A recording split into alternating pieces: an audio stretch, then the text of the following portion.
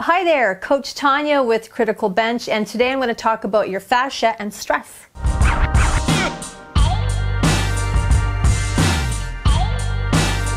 Okay, so you may have heard of fascia, you may know what it is, or you may be wondering, well, what is it? What does it do? Why do we even talk about it?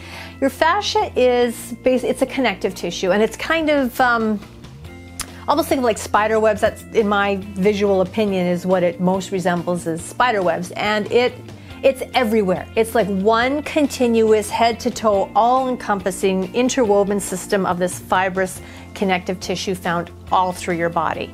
Um, so that alone should give you the an idea of just how important of it it is. If we have that much of it, and it's if it's connecting and encompassing everything right down to our organs, it must be very very important and it actually really is. And it's this framework that helps you know helps support and protect individual muscle groups the organs and our entire body as a unit. So it's it's very important. It warrants our attention and we need to know how to take care of it um, for our best performance and our best health. So you know we have this this layer of fascia directly beneath our skin. It's like another protective protective barrier all right? So there you go. That's my very simple, simple way of explaining it. So what, what, what does that have to do with stress or why am I talking about it with stress? Well, when you think about stress, stress is your body's reaction or response to anything and whether that's positive or negative. So something happens in our environment, in our thoughts, and we have a, a, reaction. Now we have a mental, emotional reaction, but we also have a physical reaction, whether we are aware of it or not. So typically, with a stress response, your body tends to tighten and tense up. So if your body's tightening and tensing up, so is that fascia. So that is how, I mean, very, very basic description or understanding is that you tighten up, well, so is the fascia because it's everywhere connecting everything.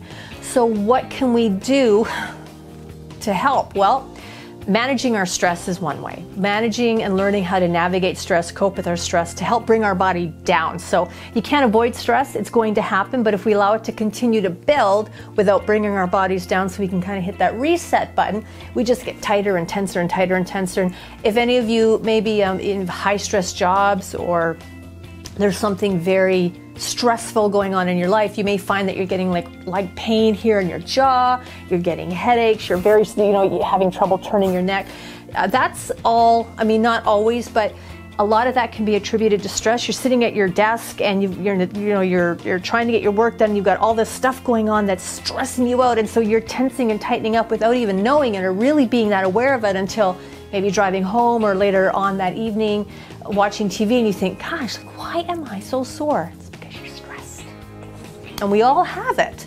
And we all have it.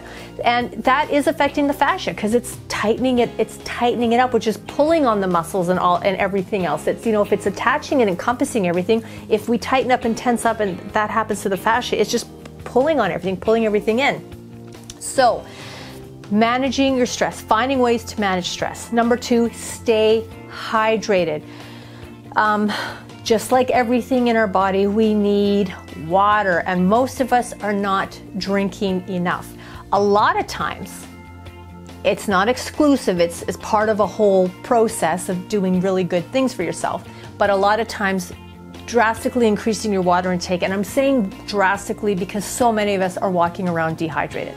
Really focusing, becoming very aware of drinking more water is going to help keep that fascia from getting tight and that, that tension, all right?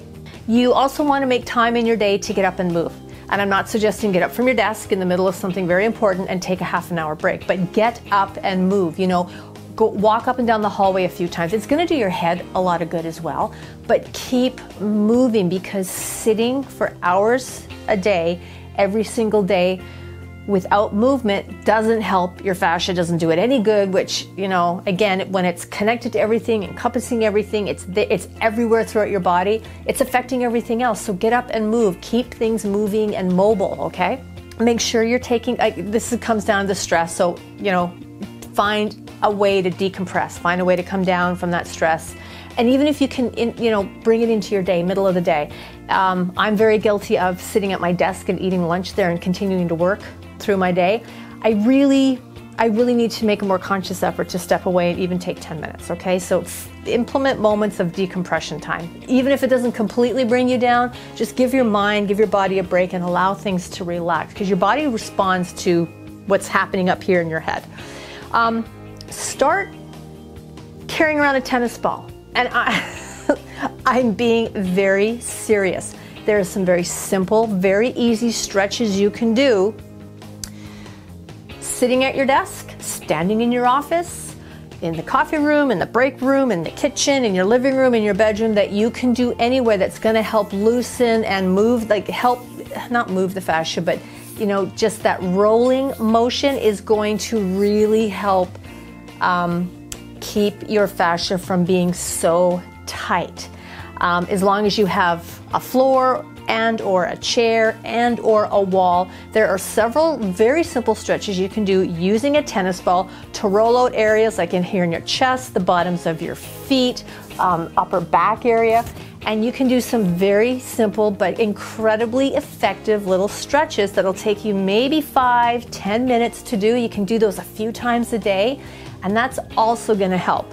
There you go, your fascia and how stress affects that, and a few things you can do to help alleviate some of those symptoms. Again, I'm Tonya, Coach Tonya here at the Critical Bench. Thank you for watching. If you liked the video, give it a thumbs up. If you have any comments or questions for me, you can put, put them down below because um, I do read those. I will get back to you. If you haven't done so already, click over here to subscribe to our channel to check out thousands of other great videos like these ones right here that you're going to love.